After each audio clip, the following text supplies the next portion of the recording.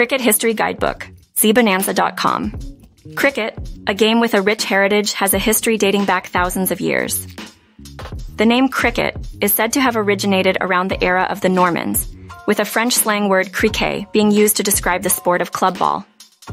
It's fascinating to consider how the game evolved from a children's pastime in England during the 16th century to a professional sport.